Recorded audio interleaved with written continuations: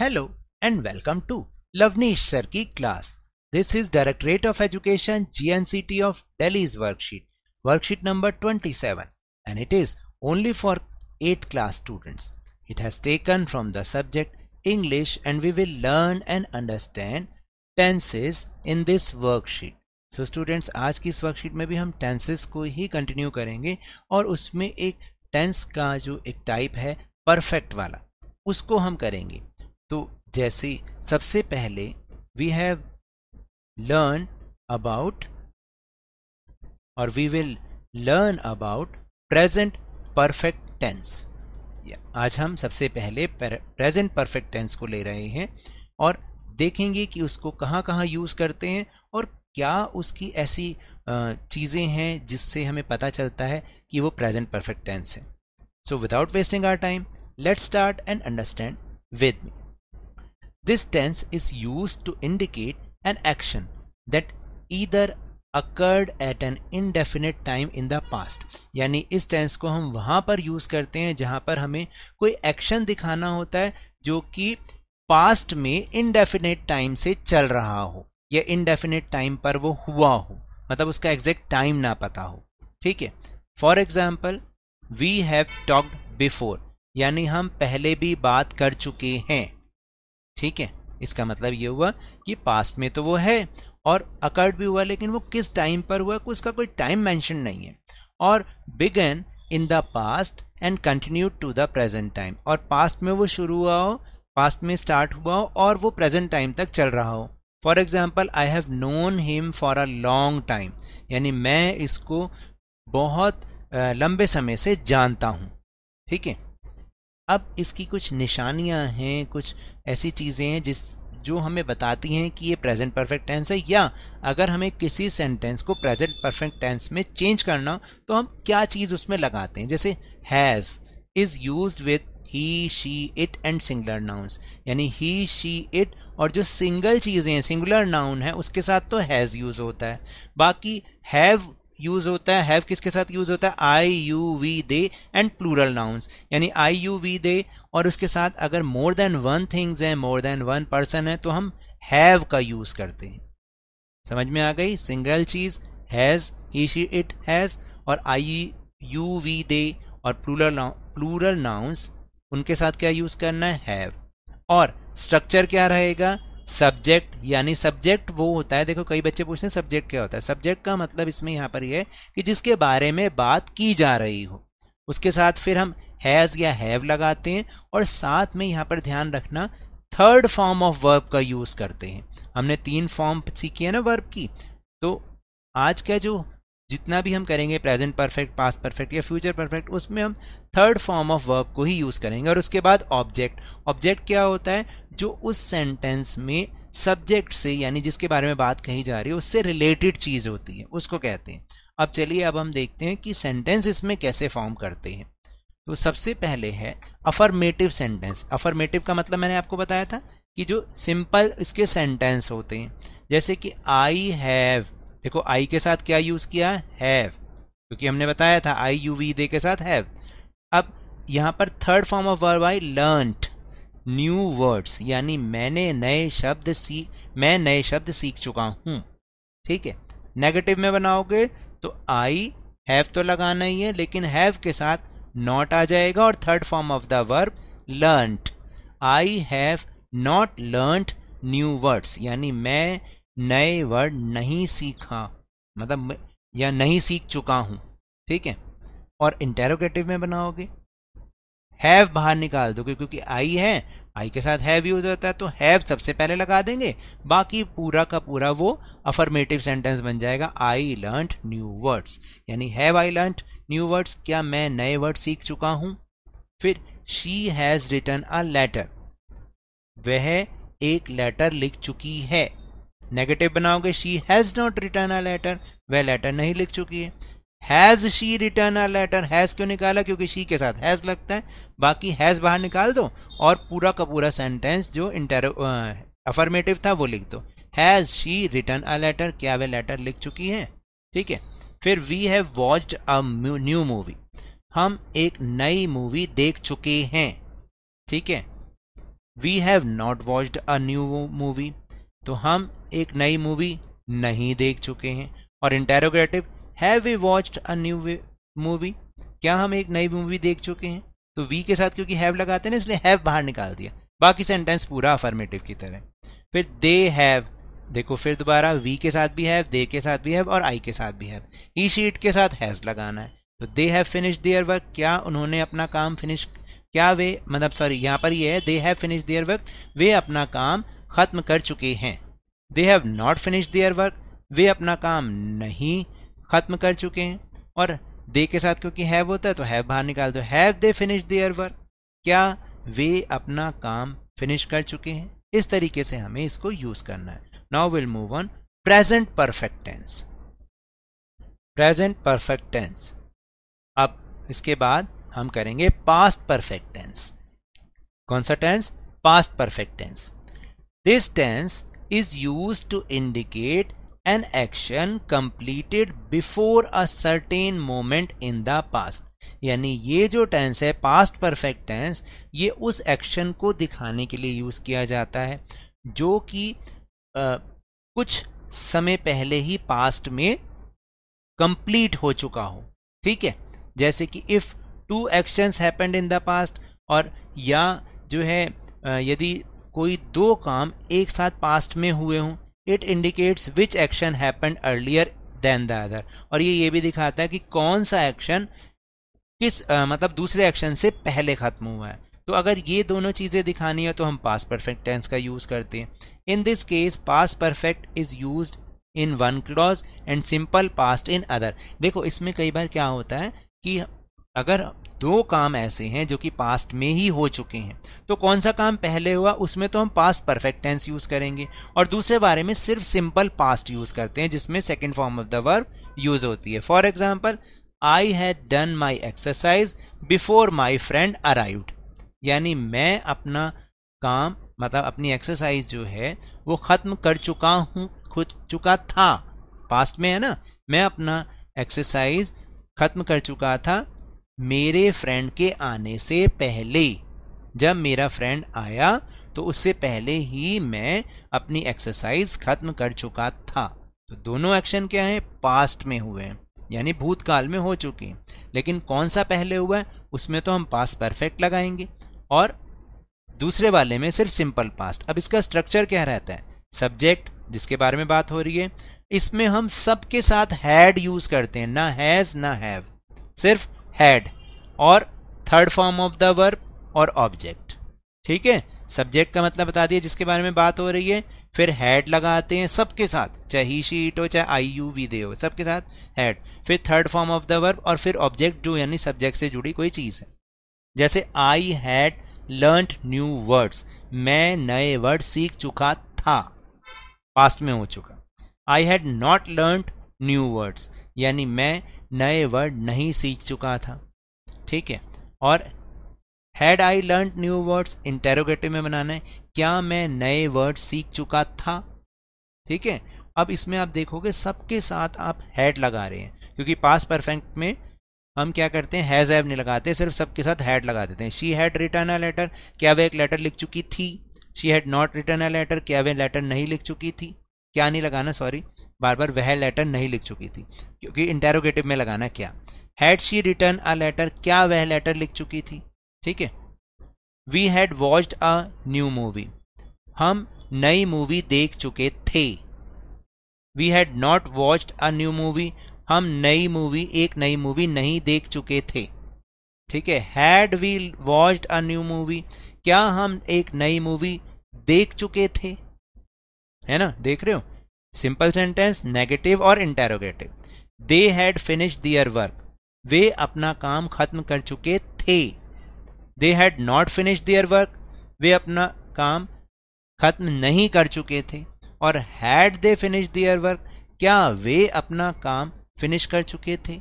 इस तरीके से हम पास परफेक्ट टेंस को यूज़ करते हैं। इसमें तो सिंपल सबके साथ हैड लगाना है और third form of the verb use करनी है। Now will move on future perfect tense this tense indicates an action that will be completed by a certain future time यानी ये टेंस क्या दिखाता है हमें? वो उस काम को दिखाता है जो आगे आने वाले फ्यूचर टाइम में कंप्लीट हो जाएगा। जैसे she will have revise the lesson by tomorrow यानी वह कल, अपने कल तक अपने इस लेसन को रिवाइज कर लेगी। ठीक है? यानी सर्टेन टाइम में कमिंग जो टाइम है, उसमें वो अपना काम जब पूरा कर लेगी, वो एक्शन पूरा हो जाए तो हम फ्यूचर परफेक्ट टेंस लगाते हैं। तो we use shall with I and we जैसे कि आपको पता है फ्यूचर में हम फ्यूचर टेंस में हम आई और वी के साथ तो शैल लगाते हैं, बाकी सब के साथ विल लगाते हैं। ठीक है? और we use will with you and third person he she it and they यानी बस आपको याद रखना आई और वी के साथ शैल बाकी सब के साथ विल तो इसका स्ट्रक्चर क्या रहेगा? सब्जेक्ट जिसके बारे में बात हो रही है शैल या विल जैसे आई और वी है तो शैल नहीं तो विल हैव लगाएँगे और third form of the verb plus object यानी ये याद रखेगा इसमें हम सिर्फ़ विल और शैल का ही ध्यान रखेंगे, बाकी सब के साथ हम हैव का यूज़ करेंगे. किसका यूज़ हैव का. जैसे I shall have learned new words I के साथ हमने शेल यूज़ किया है। फिर हैव लगाएँगे third form of the verb और फिर ऑब्जेक्ट यानी मैं नए वर्ड्स सीख लूँगा। ठीक है? अब I shall not have learn new words मैं नए वर्ड्स नहीं सीख लूँगा। Shall I have learn new words क्या मैं नए वर्ड सीख लूँगा? समझ रहे हैं? अब she will have written a letter वह एक लेटर लिख लेगी। She will not have written a letter वह एक लेटर नहीं लिख लेगी। और will she have written a letter आप देख रहे हैं ना शी के साथ भी हम हैव का यूज़ कर रहे हैं। क्योंकि फ्यूचर परफेक्ट में हम हैव लगाते हैं सबके साथ और विल या शैल सिर्फ़ आई और वी और उसका ध्यान रखना है बस। Will she have written a letter क्या वे लेटर लिख लेगी? We shall have watched a new movie हम एक नई मूवी देख लेंगे। We shall not have watched a new movie हम एक नई मूवी नहीं देख लेंगे। Shall we have watched a new movie हम, क्या हम एक नई मूवी देख लेंगे? They will have finish their work वे अपना काम फिनिश कर लेंगे। They will not have finish their work वे अपना काम फिनिश नहीं कर लेंगे। Will they have finish their work क्या वे अपना काम फिनिश कर लेंगे? ठीक है? तो इस तरह से हमने प्रेजेंट परफेक्ट पास परफेक्ट और फ्यूचर परफेक्ट टेंस जाना। अब उसी के बेस पर कुछ एक्सरसाइज हैं। Let's see filling the blanks with the correct forms of the verbs as given in the brackets at the end of each sentence. अब आपको क्या करना है कि ये जो सेंटेंस है, इनको कंप्लीट करना है और correct form of the verb use करना है और जिसकी इंस्ट्रक्शन सेंटेंस के लास्ट में लिखी हुई है। जैसे फ़र्स्ट है he dash do his work honestly तो अब इसको प्रेजेंट परफेक्ट में चेंज करना है। प्रेजेंट परफेक्ट की क्या उसमें निशानियाँ होती हैं? एक तो हमें हैज़ लगाना है। ई के साथ तो हैज़ आएगा ना, याद है? और डू का हो जाएगा third form of the verb done do did done होता है ना? He has done his work honestly वह अपना कार्य ईमानदारी से ख़त्म कर चुका है। फिर उसके बाद है I thought I meet her before but I was wrong past perfect में चेंज करना है। आई थॉट आई के साथ क्या आएगा पास्ट परफेक्ट में? हैड लगाते हैं क्योंकि आपको पता है, हम सबके साथ उसमें हैड ही यूज़ करते हैं। और क्या यूज़ करते हैं? Third form of the verb I had met आ जाएगा। मीट मैट मैट ठीक है? I had met her before but I was wrong मैंने सोचा कि मैं उससे मिल चुका हूँ लेकिन मैं गलत था। तो मीट मैट मैट ठीक है? फिर by next summer they dash the bridge build आएगा। इसमें बिल्ड जो है, वो इसकी वर्ब है। तो फ्यूचर परफेक्ट में हमें इसे चेंज करना है। तो दे क्या आएगा? दे के साथ क्या यूज़ करेंगे हम? विल यूज़ करेंगे। याद है ना? सिर्फ़ आई और वी के साथ शेयर और फिर इसमें क्या आ जाएगा? हैव आ जाएगा। आई दे विल हैव और बिल्ड का क्या हो जाएगा? बिल्ड और यहाँ पर हो जाएगा built build build built built B U I L और टी हो जाएगा इसका, ठीक है? आपने इसको बिल्ट लिखना है। फिर उसके बाद है Swati dash study at home for one hour इसको प्रेजेंट परफेक्ट में चेंज करना है। स्वाति एक सिंगल पर्सन है तो हैज़ आएगा प्रेजेंट परफेक्ट में, ठीक है? और third form of the verb आएगी तो स्टडीड हो जाएगा। S T U D I D Swati has studied at home for one hour मतलब स्वाति घर पर एक घंटे तक पढ़ चुकी है स्टडी कर चुकी है। फिर the rain dash stop by tomorrow यानी अब इसमें फ्यूचर परफेक्ट में चेंज करना है हमें। तो ठीक है रेन और क्या आएगा? विल आएगा।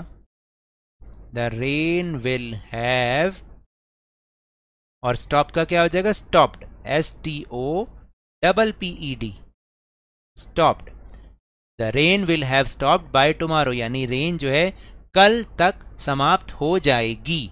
उसके बाद है, देखो the plane leave by the time I reach the airport past perfect में चेंज करना the plane had past perfect में हैड लगाते हैं और लीव का हो जाएगा? लेफ़्ट ठीक है? The plane had left by the time I reach the airport यानी प्लेन जो है वो पहले ही उड़ चुका था जब तक कि मैं एयरपोर्ट पर पहुँचा। ठीक है? तो the plane had left by the time उस टाइम पर उड़ गया था जब मैं एयरपोर्ट पर पहुँचा।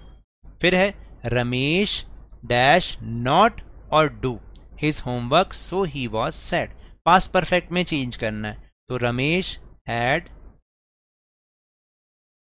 नॉट डू का क्या हो जाएगा? Done third form of the verb Ramesh had not done his homework so he was sad Ramesh अपना, ने अपना काम नहीं, रमेश अपना कार्य, घर का कार्य, गृह कार्य नहीं कर चुका था, इसलिए वो सैड था, दुखी था। अब dash they dash go out when you called past perfect में चेंज करना दे के साथ क्या? सबके साथ ही हम हैड लगाते हैं। तो हैड दे अब यहाँ पर क्या आएगा? Third form of the verb आएगी। हैड दे गॉन गो का हो जाता है gone go went gone had they gone out when you called तो वो जा चुके थे जब आपने उन्हें बुलाया। क्या वे जा चुके थे? ठीक है। I dash prepare breakfast by the time they wake up future perfect में चेंज करना। आई के साथ क्या लगाओगे? शैल लगाना शैल हैव प्रिपेयर्ड आ जाएगा। प्रीपेयर्ड। आपने सिर्फ़ डी और लगाना है। तो मैं यहाँ पे भी लिख यहाँ पे भी थोड़ा सा जगह नहीं है, प्रिपेयर्ड हो जाएगा। स्पेलिंग आप यहाँ देख लेना इसकी।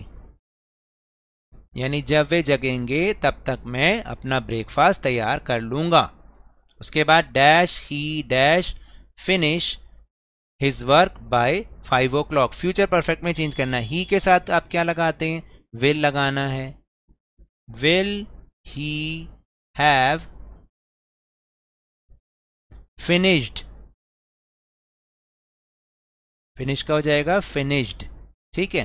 Finished his work by five o'clock क्या वह अपना कार्य पाँच बजे तक खत्म कर लेगा? ठीक है?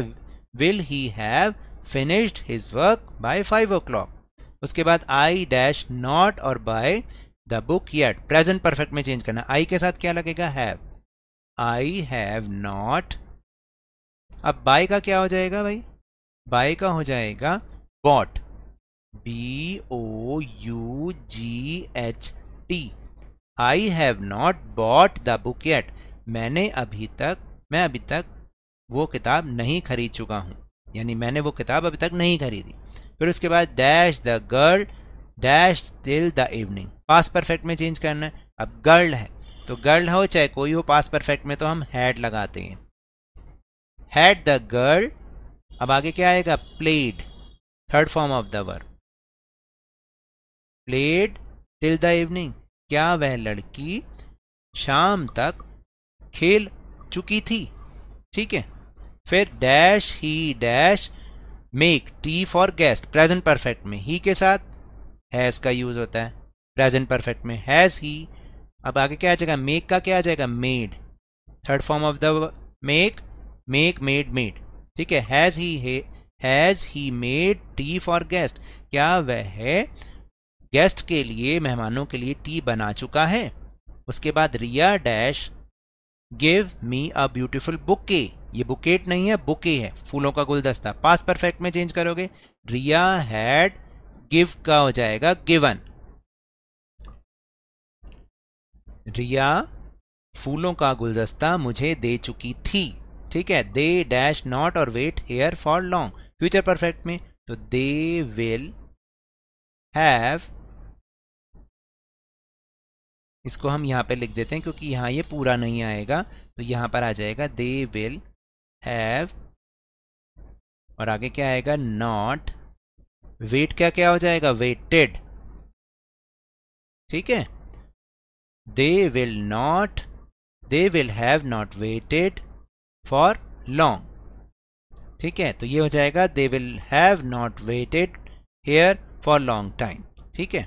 वे लंबे समय तक यहाँ पर इंतज़ार so now that's all for this worksheet अगर मेरे इस तरह समझाने से अब आपको समझ में आने लगा है तो इस चैनल और वीडियो को लाइक कीजिए, शेयर कीजिए और अगर आप न्यू है तो सब्सक्राइब भी कर लीजिए ताकि सारी नोटिफिकेशंस आपको टाइमली मिल जाए।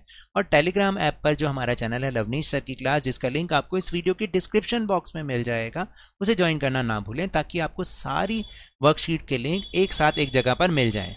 But remember whenever you will go outside please wear your mask और जब भी आपकी टर्न है कोरोना की वैक्सीनेशन ज़रूर लगवाएँ क्योंकि कोरोना को हराना है और ज़िंदगी को एक बार फिर से सुहाना बनाना है। इसी उम्मीद के साथ। Thank you very much